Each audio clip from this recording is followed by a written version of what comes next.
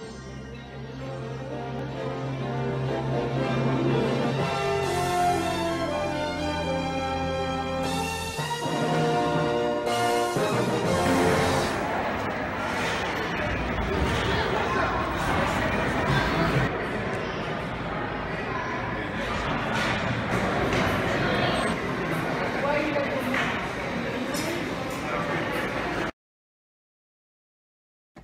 Imagine if you are a superhero in the Marvel New Warriors superhero group and you are in Stamford, Connecticut chasing down the supervillain Nitro.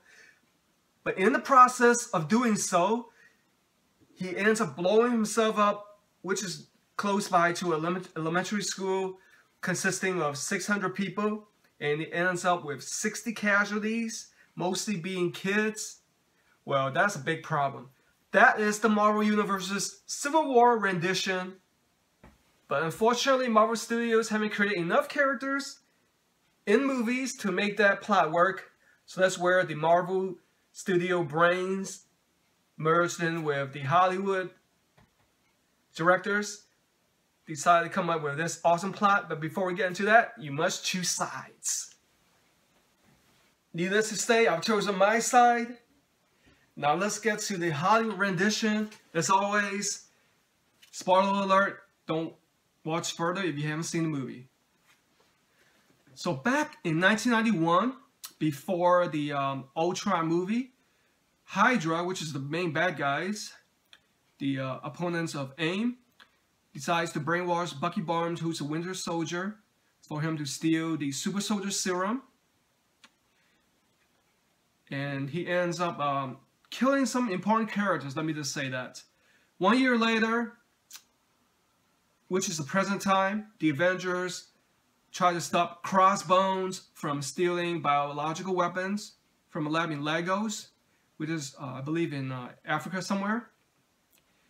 But he wants to blow himself up, trying to take some uh, Avengers out. But unfortunately, Scarlet Witch was trying to help out with her hex powers, you know, and she ends up accidentally uh, throwing him into the building where there are a lot of um, people in there and there ends up to be a lot of casualties. So that's when the government steps in and tries to make the Avengers sign the Superhuman Registration Act. But in order for that act to go into full effect, at a press conference in Vienna, unfortunately, Bucky Barnes is there to um, blow up the UN building, which happens to contain King T'Chaka, and he is killed, unfortunately. That's where Black Panther, T'Chaka, I mean T'Challa, wants to seek revenge. That's when he seeks out Bucky Barnes, the Winter Soldier, chasing him down, in the same process fighting Captain America. Now appears Baron Zemo, who is a supervillain. He steals a book that has the access codes to control Bucky Barnes and Winter Soldier so he can seek out his evil scheme on dismantling the Avengers and destroying the world in process. Now it gets very interesting because this is where the excitement really begins. So if you are with Team Captain America, the superheroes contain Captain America himself, Hawkeye, Scarlet Witch, you got the Falcon, Bucky Barnes, and Ant-Man.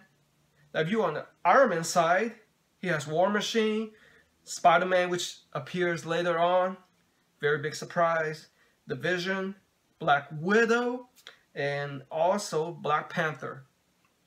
So the excitement really builds on where they fight each other um, at the airport Oh wow! And Ant Man, let me just tell you this: he's amazing. I'm not gonna ruin it.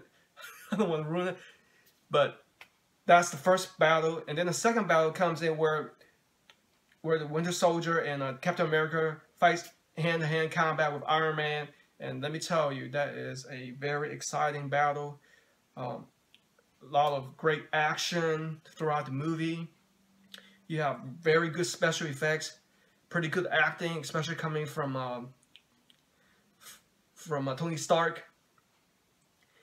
And the plot fits in real well, let me tell you. That's one thing I was very impressed about the movie.